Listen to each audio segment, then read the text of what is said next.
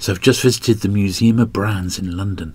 Absolutely fantastic place which has the history of vintage packaging right from the Victorian era up to the present day. One area that I was particularly interested in was the 1970s display cases full of vintage 70s toys. You had Doctor Who, Star Trek, Star Wars. Great run of uh, these lovely 12 pack original Star Wars figures. Black Hole, Doctor Who, Mego Star Trek fantastic to see.